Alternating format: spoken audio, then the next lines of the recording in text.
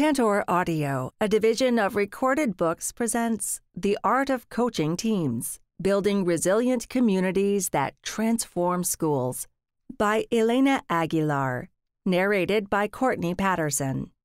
Publisher's note this audiobook has bonus material. Please contact whomever you purchased this audiobook from to request the material. Introduction Artists are notoriously messy. Their physical workspaces can be disorganized. At least, this is true for the artists to whom I am married. And their processes can be haphazard, full of false starts, revisions, and crumpled pieces that never make it to completion. The drafts and sketches left in studios suggest that the messy creative process itself may be essential to produce great work. If coaching teams is an art, and the skills necessary to lead great teams take years of messy practice to develop, we are in a tough place. While artists often refine their practice in private, much of our growth and development as facilitators is public, evident when we lead team meetings or present professional development. Furthermore, there isn't a formula that can be used to build an effective team. All teams inevitably look and feel different. They are made up of people, after all, and it is these people who make teams potentially transformational and also challenging to lead. Our big dreams for transforming schools depend on highly functioning groups of educators working together. This is a daunting challenge, and one I'll admit that I avoided for years. I hoped that our individual efforts would amount to transformation. I preferred working alone and I hadn't experienced teams that could accomplish great things. When I was first in a role where I was asked to facilitate a team of adult learners, I didn't have the skill set I needed. I'm now ready to proclaim not only that yes, we have to build teams, but also that yes, we can. It's been over a decade since I began coaching. My early efforts at facilitating teams included false starts and little grace or beauty. Over the years, I've worked on my craft with great commitment. I acquired knowledge and theory, I practiced skills over and over, and I figured out who I want to be as a leader. The art of coaching teams is deeply informed by my lived experiences and chronicles key moments of my journey toward powerful leadership. As much as it makes me cringe to reveal my rough drafts as a team leader, I hope that you will see that the art of coaching teams can be developed. Most important, I hope the tools, tips, protocols, and theory contained in these pages will help you find your own conviction and confidence that you can develop the skills to lead transformational teams. A Tale of Two Teams. I would like to tell you a story a Tale of Two Teams. The first team is a humanities team that I facilitated some years ago when I was a novice instructional coach working in a middle school that I'll call Wilson Middle School. All names of people in this school are fictitious. See the note on anonymity following this introduction. From my perspective, this team was disastrous. There was little trust, we didn't get much done, and I struggled as a leader. The second team was a team of coaches that I led after I'd had several years of experience as a facilitator. This team thrived, and I thrived as a leader. Based on many indicators, this team was a success. Think of this tale of two teams as a serial.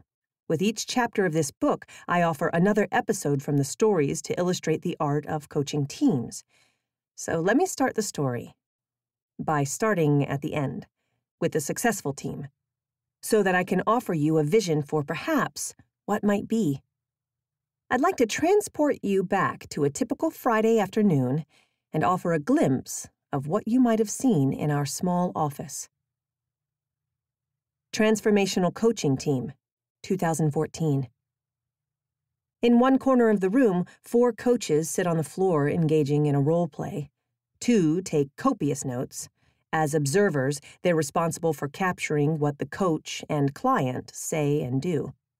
Han is playing the coach in this scenario, trying to help Manny, who is playing a teacher, reflect on why his math lesson didn't go well. Han listens, nods, validates Manny's challenges in the classroom. She asks probing questions, asks him to clarify his ideas, and paraphrases what he says. Her face is open, smiling, compassionate. But Manny is being difficult, authentically portraying the teacher he was depicting. Han breaks protocol. You guys, I'm stuck, she says as she dramatically throws her hands in the air. I don't know what else to say. Angela laughs. I'm so glad I didn't have to be the coach first in this one. I don't know what I'd say either. I'd been sitting close by, listening to the role play, but as I hear the observers start to offer their feedback, I move away.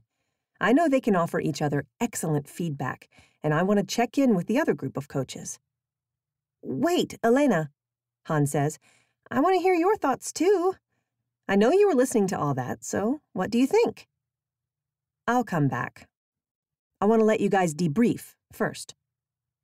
As I roll my chair to the other side of the room, where the other four coaches are debriefing their first role play round, I hear Dave make a comment that sends his group into a fit of laughter.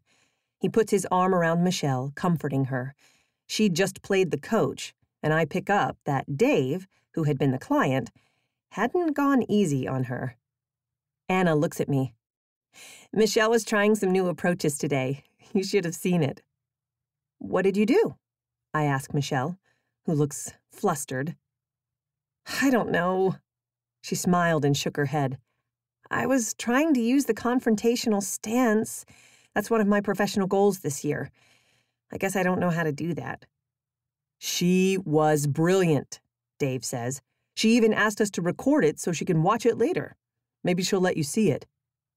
Wow, that's great, Michelle, I say. She groans. I don't want to see that, and I don't want you to see it either. I smile. That's your decision, of course, I say. Anna, who was an observer, shifts the group back onto the protocol. I can start the debrief, she says. I noticed some moments that were really powerful, Michelle, and some where you might have been able to get more traction if you just rephrased your question. I slide my chair a couple of feet away from the group so that I can listen, but let them have space to debrief. They know enough, they trust each other, and they don't need me there. Michelle takes notes on Anna's sharp insights. Noelle grabs a document from her desk, a tool she created for herself that she offers to Michelle. Dave commends Michelle's bold moves. At the end of the meeting, we regroup at our oval table that fits the eight of us perfectly. As we debrief the role play, coaches reflect on their professional growth and identify additional areas of learning. They make suggestions for readings and activities and commit to plan a coaching session in the upcoming week. In pairs, they reflect on the intention they'd set for the day, and Michelle shares that she knows she demonstrated her intention to take risks. They fill out the feedback form for me, some of them writing much more than others and then I open a few minutes for appreciations and begin by offering my own. Everyone is appreciated. Everyone offers at least one appreciation. The words are important, but more important is the feeling that envelops the room one of indescribable respect and admiration. The feeling of a group of people who care deeply for each other, who enjoy each other's company, and who learn with and from each other. For two years, I was the manager of this team of coaches, and I felt that my primary role was to develop their skill, knowledge, and capacity to coach. When I created the model for our coaching program, I included an entire day of professional development every week. Monday through Thursday, the coaches were at sites, working with individual teachers and administrators, leading professional development sessions, facilitating department and grade level meetings, participating in instructional leadership teams, gathering and analyzing data, and much more. On Fridays, without exception, we came together to reflect, learn, plan, and re energize. By the time I first met with this team in August 2012, I had a lot of ideas about how to create a highly functioning team. I knew that I'd be in a unique position with these eight coaches.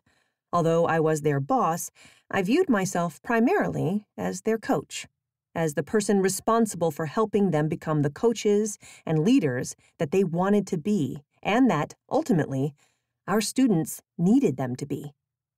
We saw impressive results in the schools we supported, including growth in student learning, growth in teacher professional practice, increases in teacher retention, and improvements in collaboration among teams. All indicators of the work of an effective team of coaches. Perhaps most significant was what we learned about teams, about the utmost importance of teams and what it's like to be on a high functioning team. Although many of us knew that teams were essential in transformation efforts, we hadn't experienced one that was collaborative and deeply caring, and that got stuff done. The health of our team allowed us to go deep into individual and shared learning, and into the scariest nooks and crannies, the ones where conversations about race and class, fear and despair, ego and emotions all reside. We challenged each other, pushed each other's thinking, celebrated learnings and growth, and encouraged each other to go deeper, go further, and then stop and rest.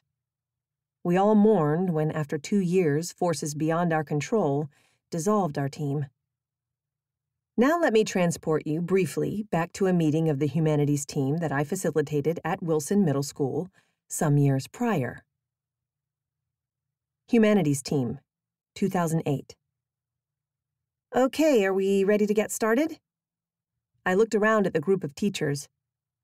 I'll need to adjust the agenda since we're starting 20 minutes late, I said, my voice conveying my irritation at the behavior of a few teachers who trickled in late every week. If we're going to reach our meeting objectives, I continued, we all need to be here when we start. Bess made a snide comment under her breath that contained the phrase, be sent to the principal's office. Margaret laughed, got up, and said, I'll be right back. I left my drink in my classroom. Per my request, the group looked over the agenda. Any clarifying questions? I asked. Bess raised her hand. Yes, when are we going to talk about the abysmal student behavior here? When are we going to talk about how young men and women should be treating their elders? You would not believe what that little fool Kimante said to me today when I asked him to take his hood off. Where does he think he is, anyway? Is that how his mama lets him talk? I would have never spoken to a grown up like he does. And when I sent him to the principal's office, he came back 15 minutes later with a big grin on his face. They get away with everything here. Bess, I interjected, this is our department team time. That's not what we're supposed to talk about here. Oh, I'm so sorry, she said, her voice laden with sarcasm. Okay, let's get to it. Let's get on with our learning target for today. I can identify two formative assessment strategies that I'll use next week, she said, reading from the agenda. Sam put her head down on the desk. She often fell asleep during our meetings. Megan looked back and forth from me to Bess. Cassandra doodled in the margins of her notebook. Great. Thanks for reading the learning target, Bess, I said disingenuously.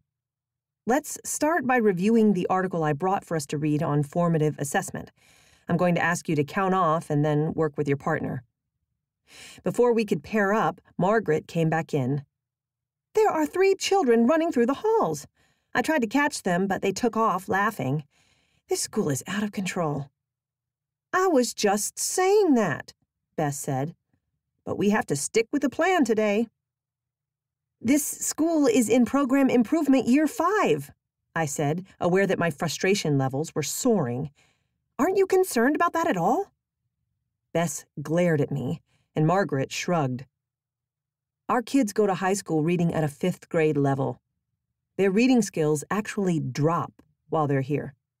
They won't pass the high school exit exam. Don't you think we need to do something about that? Margaret's phone rang. Gotta take this, she said and walked out. Bess moved her papers to the side and leaned forward. We can't do anything about their reading levels until they learn to sit down, shut up, and act like human beings, she said. Until then, all of this professional development is a waste of time. I stared at her. I could feel my hands trembling under the table. Megan cleared her throat. Well, I wouldn't mind if we got to the reading, she said. How about you, Sam? she said. Sam opened her eyes, sat up, and nodded. Sounds good to me, Cassandra said. Megan, we're partners. Want to sit by the window? I prefer to work alone, Bess said. I'll be in my room and come back for the discussion. She walked out. I moved to sit with Sam and followed the protocol I'd created, but I couldn't stop ruminating over what Bess had said. Her words looped over and over in my mind. I thought about the times I'd seen her shaming children in public, making fun of their names, and delivering lessons that seemed entirely disconnected from their learning needs. I'd never let my child be in her class. Those were other people's babies I felt responsible for protecting, but I didn't know how. I hadn't known how to respond in those moments or to her behavior in meetings. What am I doing here? I thought over and over. I missed teaching the reward, satisfaction, and connection with people who appreciate me. I'm doing nothing of value here, I thought. I just want to quit. I worked in the Oakland Unified School District, OUSD, in Oakland, California, for almost 20 years. During that time, I was a member of many teams and a leader of a few teams. The humanities team was the most difficult team I led, and also one from which I learned a great deal. It was a couple years after I led this team that I wrote The Art of Coaching, Jossey-Bass, 2013, in which I originally intended to include a chapter about coaching teams. As I drafted that chapter, however, it became apparent that the content deserved a book of its own. But there was another reason that I couldn't yet write a chapter on coaching teams. Although I had a plethora of ideas about how to build effective teams, I had never been a member of a truly transformational team of educators. I had never led a team to a high level of performance.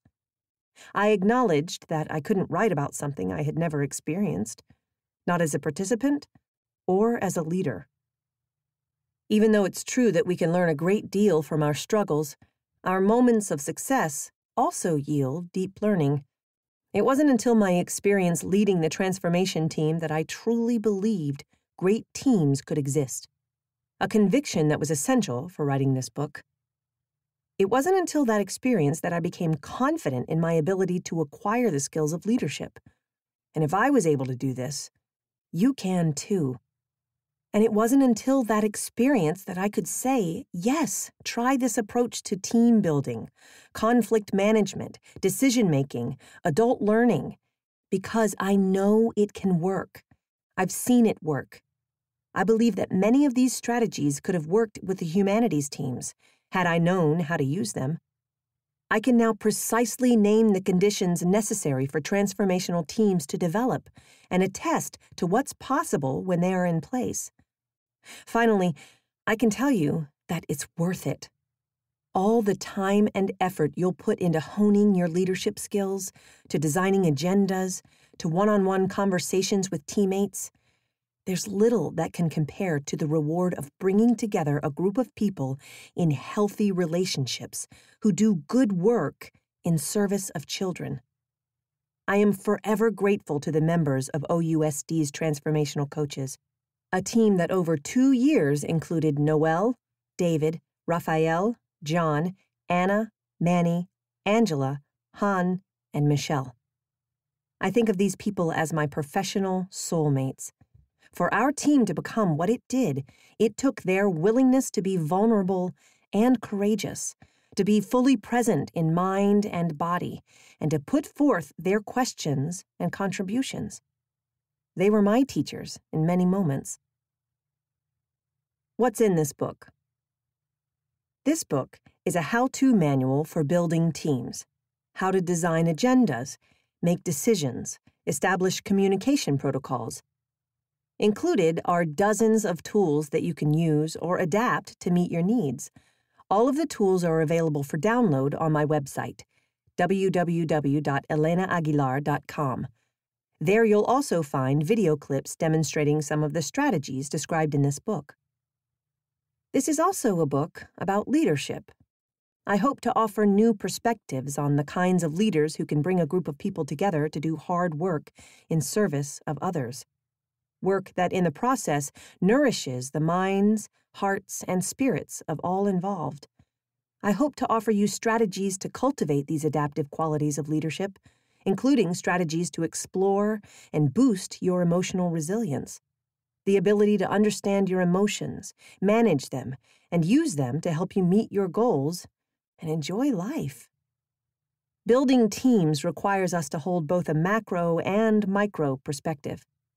In this book, I'll take you back and forth between looking close up at elements, including our emotions as leaders, meeting agendas, and language for difficult conversations, and then back out to the macro structures, including the alignment between teams in a school, leadership models, and organizational culture. For example, to offer suggestions for how to respond to someone who dominates a discussion, we need to look at the big picture and consider how systemic oppression impacts the development of trust among teachers, and how communication and conflict are influenced by a school and district's adult culture. We'll explore how a leader can cultivate a team's emotional intelligence and how to deal with resistance. And we'll reflect on what leaders can say and do in the moment that someone is dominating a discussion. If you lead groups that primarily engage in learning together, perhaps a professional learning community of coaches, a department, or a grade level team, then the content of this book will help you establish the conditions so that adults can learn together over and over will return to the conditions in which effective groups of educators work and learn together. There's a tremendous amount that you can do to create optimal conditions. I encourage you to read this book in the order that it's presented because each chapter builds on previous ones. However, Exhibit Roman numeral 1.1 in the downloadable PDF, located after the introduction, will help you identify where in this book you'll find answers to your most pressing questions about building teams. A tool you might want to look at and use right away is the Facilitator Core Competencies, Appendix A. This tool identifies the set of skills that a facilitator needs and offers an opportunity to reflect on your abilities. Although my intention in this book is to boost the massive skill set laid out in the Facilitator Core Competencies, You'll also find many resources to strengthen those competencies in my book, The Art of Coaching. When I began writing this book, I asked one question of everyone with whom I came into contact in workshops I offered as well as through social media. I asked, What's the hardest thing about coaching a team? I received more than 1,000 responses and grouped them into the categories in Exhibit Roman numeral 1.1 in the downloadable PDF. One of the most common responses was dealing with one person who dominates conversations. I remember when that was also my most pressing question about managing group dynamics. And even though I wish I could offer five easy steps toward managing the verbal dominator, it has, in fact, taken an entire book to answer that question in a way that leads to lasting change. As I hope you'll see, my intent is to offer a transformational approach that will allow us to create the kinds of healthy adult communities that will be able to serve the social, academic, and emotional needs of all children. After reading this book, I hope that you'll be able to write a plan for developing a team you lead. Whether you're embarking on a leadership path and preparing to lead a team of colleagues, or planning for a team you've led for some time, my intention is that you can cull through the strategies in this book and use them to formulate a plan. Appendix F offers a template for a team building plan. On my website, you can see examples of such a plan. Who is this book for? This book is for anyone building, leading, or facilitating teams, and for those who hope to build the capacity of others to do so. This is for instructional coaches, professional learning community facilitators, grade level leads, data team coaches, department heads, committee leads, and anyone else in a formal or informal leadership position. This book could be considered the companion to The Art of Coaching, since it expands on many of the approaches described for working one on one with another educator. The Art of Coaching teams will help principals who seek to be a lead learner, as described by Michael Fullan in his book, The Principal, 2014. Fullan makes a compelling case for principals to focus their energies primarily on creating cultures of learning in their schools and to work with teams rather than individual teachers. His argument is backed by research conducted by the highly respected educators Richard Dufour and Robert Marzano, who argue time devoted to building the capacity of teachers to work in teams is far better spent than time devoted to observing individual teachers. 2009, page 67. Principals Imagine if you could reduce the number of observations and one on one conversations you have each week and see even greater impact on student learning. I hope this book might help you strategically develop teams of learners. Administrators in all corners of our education system build teams instructional leadership teams, culture and climate teams, student behavior teams, curriculum teams, and many more. This book is intended for those site leaders, directors, managers, coordinators, and superintendents who seek to strengthen their teams. The material offered in this book is relevant across roles wherever someone holds an intention to bring a group of people into healthy relationship with each other to accomplish something in the service of children. Toward a beloved community. I am often daunted by the amount of change we need to see in our schools. The progress we've made feels slow. So many children are not receiving the education they need. They aren't treated with the love and kindness that all children deserve. And they aren't in communities where they can thrive. I've been working in education for 20 years, and sometimes it feels like little has changed. However, when I think back on the places where change was made and children got more of what they need and deserve, those were uniformly places where the adults at the site worked in high functioning teams together and where there was respect and trust between teachers and between teachers and administrators. In those places, when storms hit, and they did, the communities of adults and children weathered them well and emerged stronger than before. At the schools where I experienced this, teacher and administrator retention was high, institutional memory was preserved, and a culture of learning was maintained. Above all, people liked coming to work. There was laughter and meaningful conversations and sharing of resources, experiences, ideas, and accomplishments. In these contexts, creativity was abundant and evident Teams collaborated on projects and initiatives in innovative ways and with admirable results. At those moments, from within those healthy communities, I observed firsthand the positive impact of good teams on our children. My purpose in my work is to interrupt the inequities I see in our education system and schools. Every morning, I awaken hoping to contribute to building equitable schools where every child gets what he or she needs in school every day. My vision for a transformed society extends beyond what children experience in school.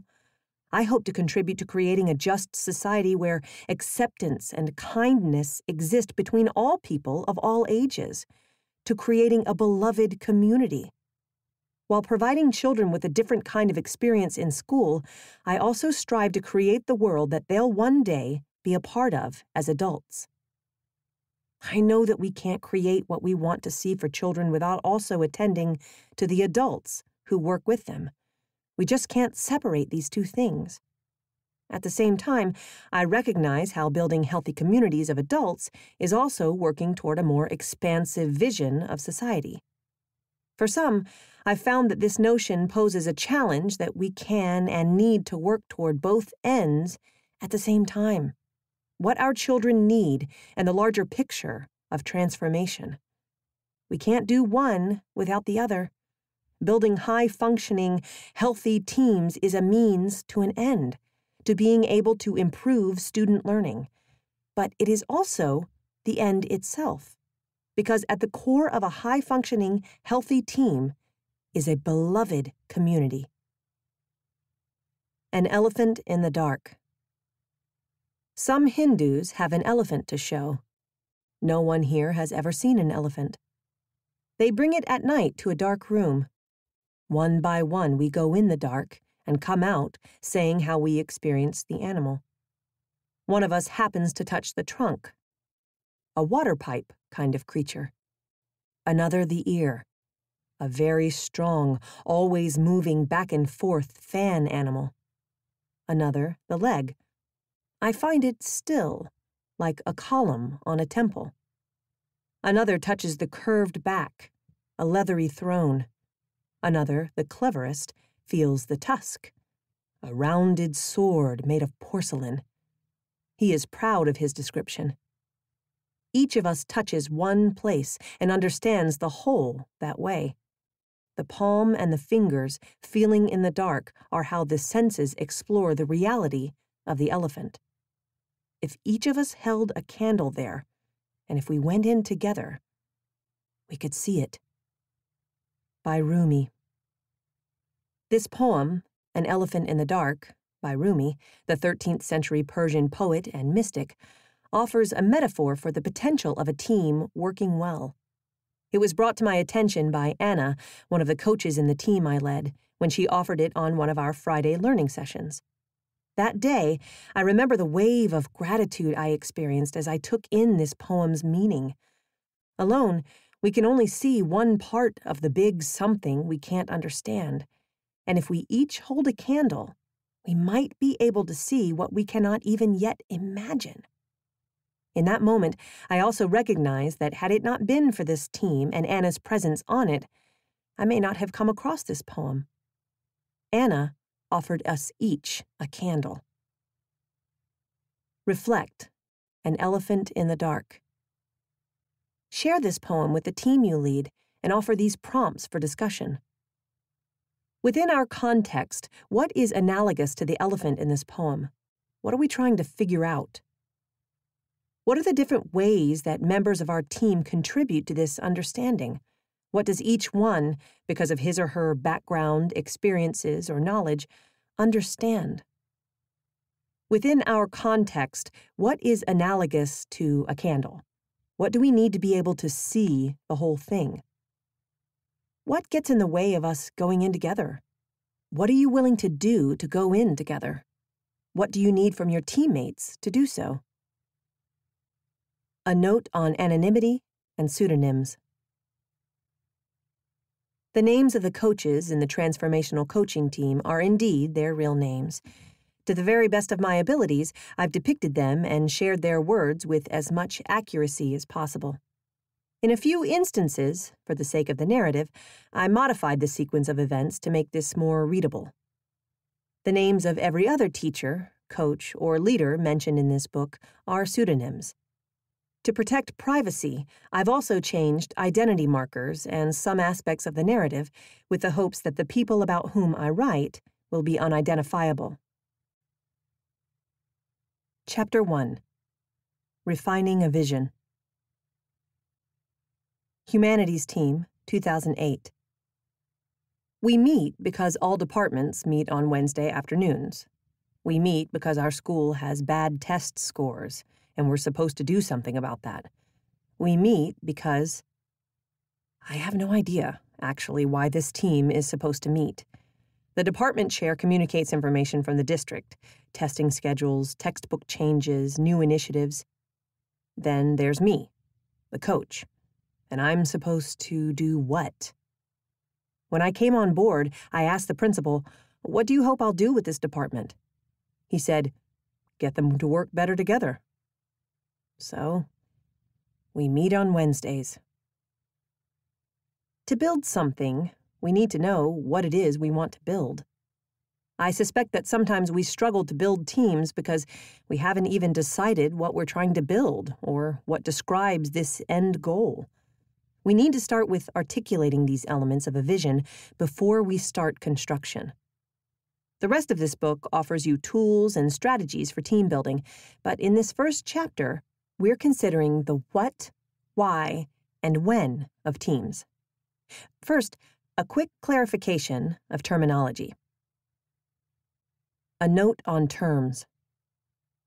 For the sake of simplicity and flow, there are sets of terms I use interchangeably in this book. First, I use team and group to mean the same thing a unit of people who convene to work together interdependently for a shared, meaningful purpose. To describe the kind of team I aspire to create, the kind I believe has potential to serve our schools and children, I also use a set of adjectives interchangeably great, effective, high performing, high functioning, and successful. I don't want to confuse you, nor do I want to bore you with repetitive terminology. So if you wonder, well, what does she mean now when she says a team is high functioning? I mean the same thing as when I say a team is effective. I also use the terms leader and facilitator interchangeably.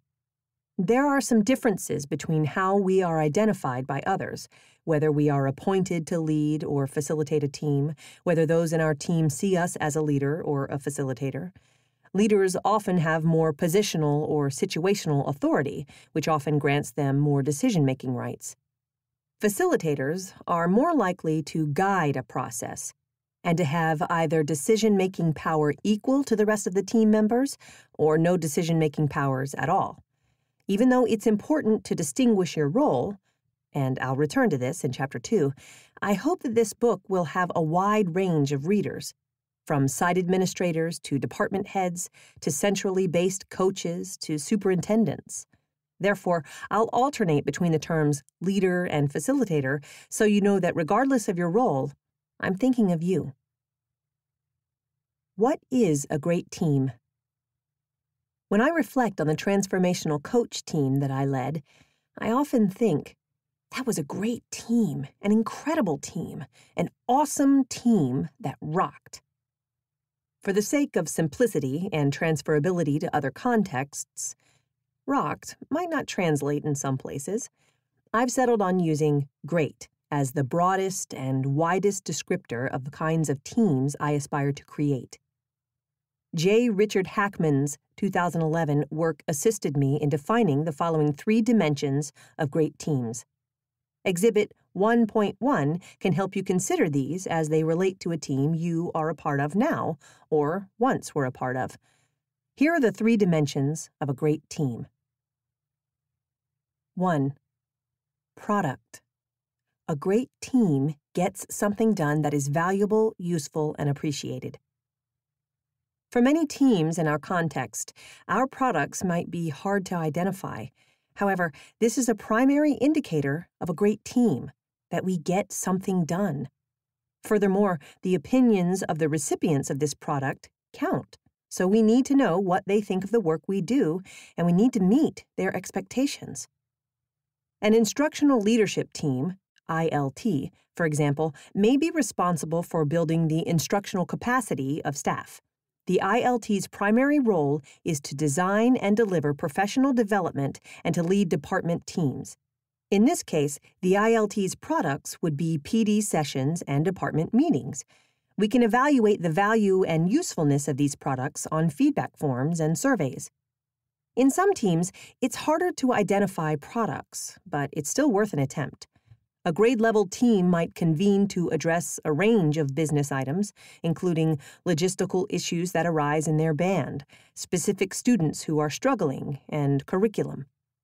The product of their work together might be schedules, new agreements, or insights into instructional practices. Although these activities may be valuable, if a team needs to think about product, it can push members to reflect on what they're doing together. We'll come back to this question of what we're doing together in Chapter 4. The product for a team of coaches is the impact they have on the clients they serve. In the case of the Transformational Coach team, our primary clients were teachers and administrators, and we measured impact in many ways, including on anonymous surveys, through growth in teacher performance, and on feedback forms after professional development sessions. Given that during the two years we offered coaching support, more than 95% of the feedback we received was positive, and clients reported high levels of satisfaction, I conclude that our team did something valuable, useful, and appreciated. 2. Process. A great team's collaboration skills increase as a result of working together. The end product is only one part of what makes a great team, and you can't be great if that's all you do because process counts. A great team strengthens its way of working together as a unit which sets it up for future success. The way the group works together and the group dynamics, e.g., how members communicate, how they manage conflict, fosters its ability to work together interdependently in the future. A great team periodically reflects on how its members are working together and uses this reflection to improve its work. Great teams perform more capably when they have finished a chunk of work than when they began. Let's consider the example of a high school art department that collaborates during the spring semester to put on its annual Festival of the Arts, the team's big product. As the team navigates conflict, whose art gets to go up in the main building? How do we divide our budget equitably when the visual arts teacher needs more money for materials than the dance teacher? It finds ways to bridge the challenges that arise. At the end of the semester, as group members reflect on the success of the festival and the record high attendance of students and parents, they compile a list of guidelines that they'll use in preparation for the event the following year. There is laughter as they reflect on the experience with comments like, We'll never do that again, and I had no idea you had those skills. I hope you'll do that again next year. Each member feels confident that next year's festival will be easier to prepare for and even better. This team's process results in a stronger ability to work together. 3. Learning. Members of a great team learn. A team is great when its members learn things that they wouldn't have learned had they been alone. Their skills and knowledge about their primary area of practice increase as a result of being a member of this team. This means that teachers in an English department increase their skills and knowledge of teaching, curriculum, and pedagogy because of their participation in their department team. Coaches working together as a team improve coaching conversation skills as knowledge of working with adult learners increases. In an ILT, members learn about leadership. In a response to intervention team, members learn about individualized and systemic ways to support struggling learners. In a culture and climate team, members learn ways to lead for transformational change. For learning to occur, members must feel safe with each other. It's important to extract this assumption to think about whether a team was truly great. Underneath a successful learning experience is that members trusted each other built community with each other, and had overall positive feelings toward each other. This is the only way that members can explore perspectives that differ from their own. Although feeling good is not an end goal in itself for a great team, and it's not one of the three dimensions of a great team, it is an essential condition for a team to truly engage in transformative learning. Learning, not emotional safety, is the goal, but we can't learn unless we feel safe. The stars we are given, the constellations we create. Rebecca Solnit, Storming the Gates of Paradise. What makes an effective team? Members of a great team know that they must work together in certain ways to produce results, to be effective. How a team functions is inseparable from its potential for success.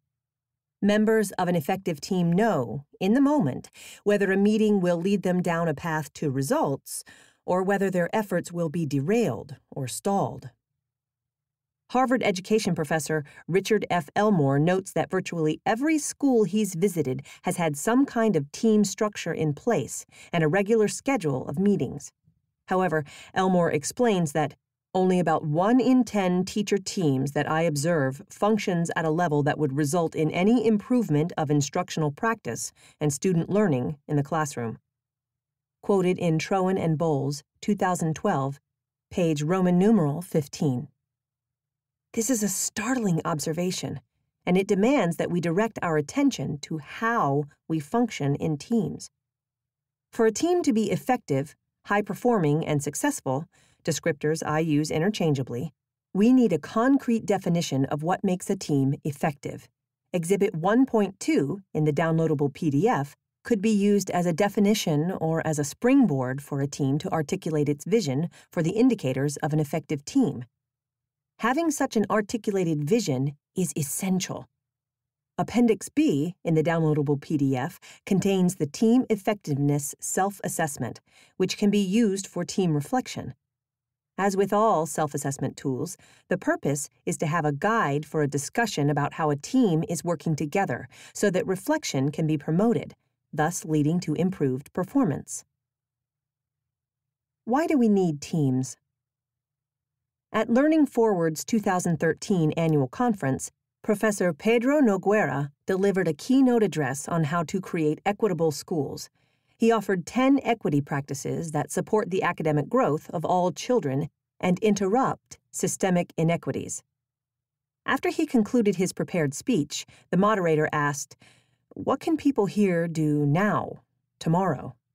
Dr. Noguera responded by urging us to find communities and to build teams of people who can take up this work. We can't do it alone, he said. This reminder is so simple yet so challenging. We can't do it alone. No individual alone can transform our schools into places where all children get what they need every day. Many of us are acutely aware of how much work needs to be done and of how far we are from an ideal of education. We might also be aware of our own individual limitations, including our capacity to do the amount of work that needs to be done, and our individual scope of knowledge and skill set. Teams have great potential for solving hard problems in challenging contexts. They bring together more skill, knowledge, and experience to work than any single individual can. They can integrate individual members' diverse contributions into a creative problem that is what is needed. Of course, as many of us know, teams can also go badly, not getting anything done or falling into groupthink. The challenge is to identify what it takes for teams to maximize their potential. Some of us might suspect that we're stronger and more effective in teams, but we haven't had such an experience. Until we do, it can be hard to fully invest in building a team we might be apprehensive about taking risks or trusting a leader. A leader needs to surface past experiences and beliefs about building teams to get buy in to the process. Reflect on the need for teams. 1. Why do you think we need teams? What can we do in teams that we can't do alone? 2. What are the advantages of working in teams? What are the challenges? 3. Describe the most effective team you've ever been a part of or observed. What did this team do that wouldn't have been possible by a single individual? 4. What did you learn by working in a team that you might not have learned from working alone? What did you learn about yourself? 5. What's the hardest thing for you about facilitating a team? When do we really need a team? In some organizations, there's a glorification of teams. A team is convened every other day. Individuals belong to 17 different teams, and every task of every size is done collaboratively. However, sometimes what an organization needs is not a team, but a working group or committee, and sometimes tasks might be better accomplished alone by one individual. The major distinctions between a team and a committee are listed in Exhibit 1.3 in the downloadable PDF. Ideally, the classification of team is reserved for a limited number of groups. This number fluctuates based on the size of the school, the ability of the site leader to monitor teams, and the capacity of leaders and the organization as a whole. It is hard for an individual to lead more than three or four teams at the most, given that each team requires a work plan, regular monitoring, thoughtful agendas for each meeting, and so on. Leading teams takes a lot of time and energy in addition, participants struggle if they belong to more than three or four teams at the most. To form strong teams, members need to develop trust between each other, effectively communicate with each other, and efficiently get things done. The solution to all the work that needs to be done in schools isn't to create dozens of teams, it is to have a handful of really effective, high functioning teams. Working alone. Don't be afraid of individuals working alone, either within or apart from a team. Many people, especially introverts, need quiet, independent work time to effectively contribute to the greater whole. Teams can work interdependently and independently at the same time. For example, if a team of coaches is charged with designing and leading a three day summer training, some of the planning might be collaboratively decided, and much of the planning might be done in pairs or by individuals. The entire team may want to review plans after individuals have worked on them alone, but the actual planning of the work is sometimes best done individually. Every part of a team's work doesn't need to be done collaboratively, with everyone sitting around the table. A good indicator of team members trusting each other is that work can be divided up and people can go off and do parts of it alone or in pairs. How do we build teams? Although my intention in this book is to offer you strategies for building great teams, I can't dictate a sequence of steps that will ensure success.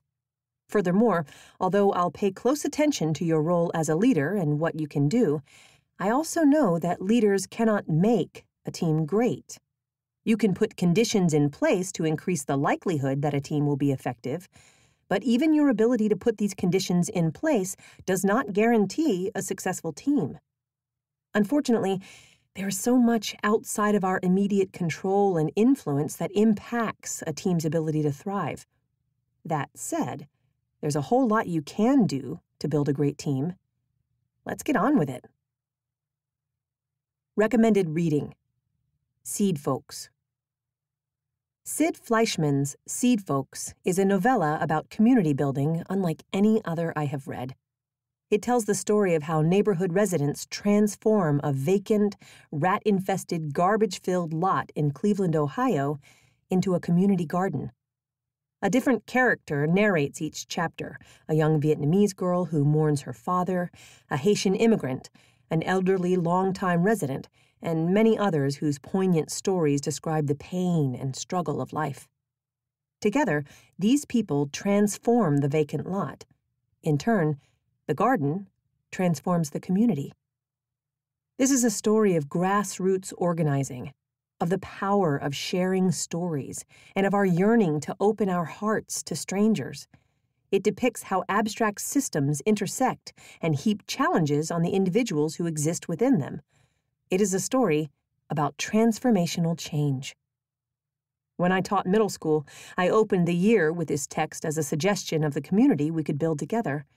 It is a powerful read for young adults, and it also offers a blueprint for leaders who seek to build teams.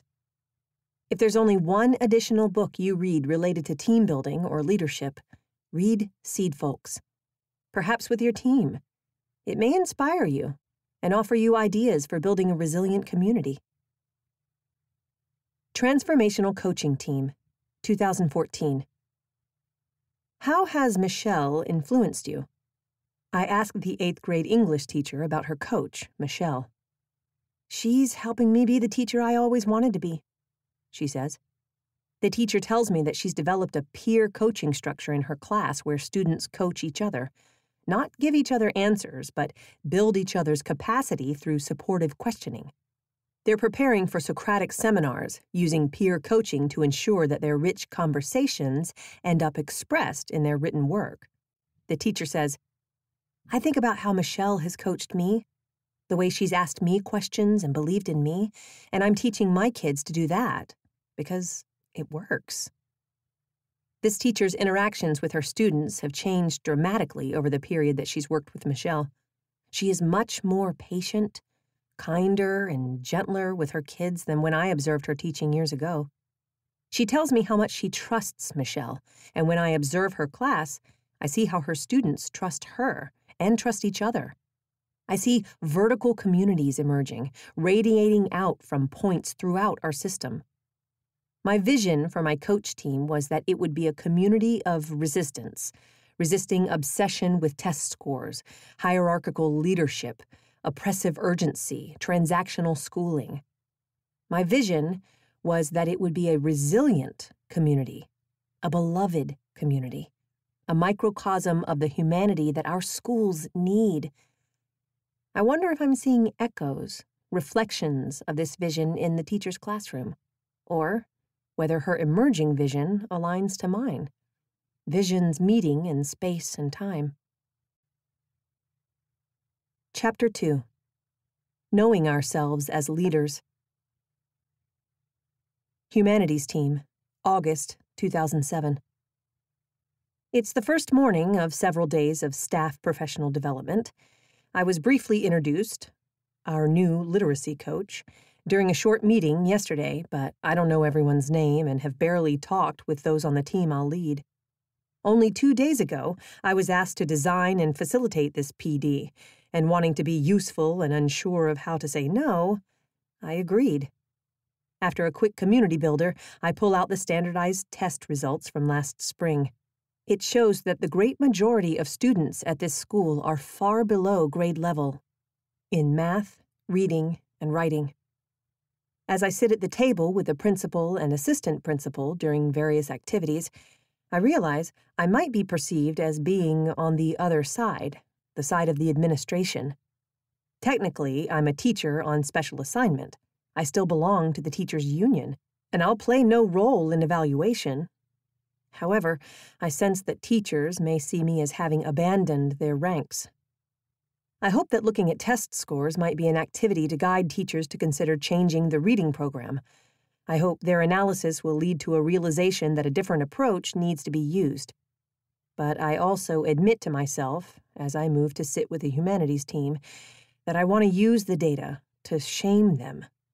I want them to explain how it is that the great majority of their students are so far below grade level how it is that eighth graders read at a lower level than when they entered sixth grade. Their data analysis, however, is disconnected from their own teaching practices.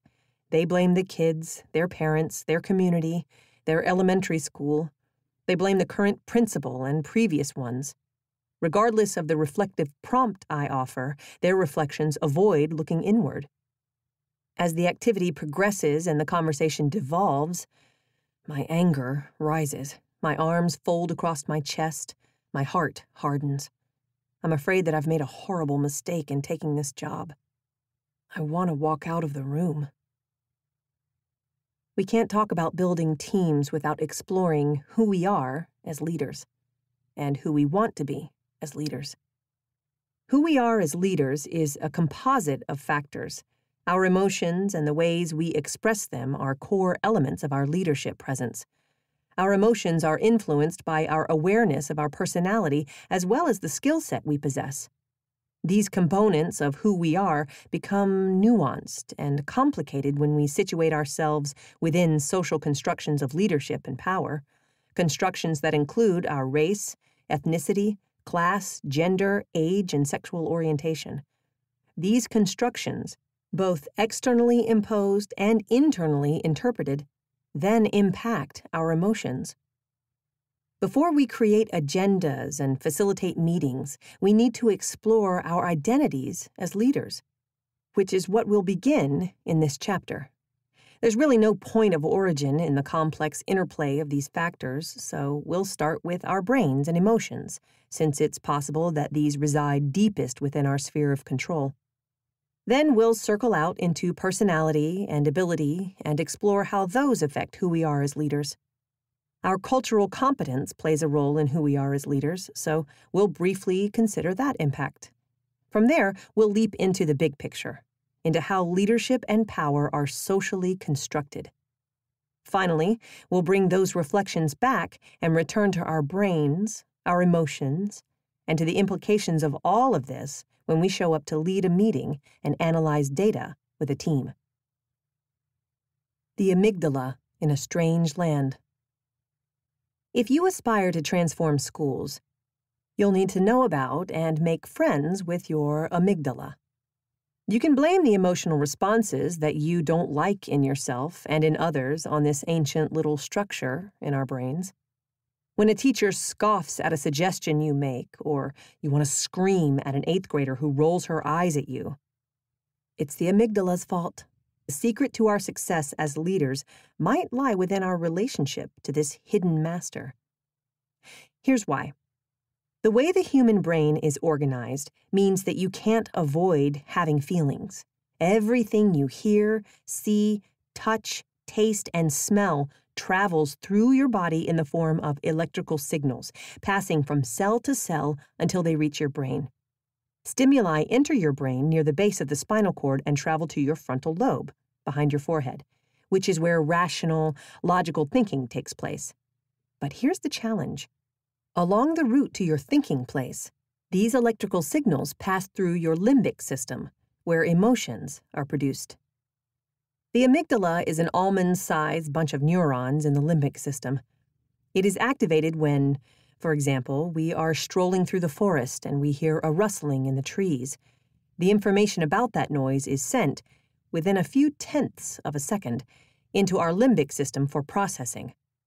Our mammalian ancestors needed to know quickly whether the noise could be a predator. We had no time to wait for our rational mind. We hope you enjoyed this preview. To continue listening to this audiobook on Google Play Books, use the link in the video description.